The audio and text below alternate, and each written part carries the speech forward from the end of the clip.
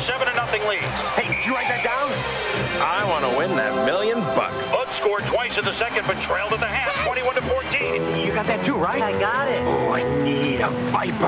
At the end of three, Bud Light still leads it, 24 to 20. There's only one quarter left, so get your game card where you buy Bud and Bud Light. We can win this thing. Come on. Yeah, we just gotta mail it in. Hmm.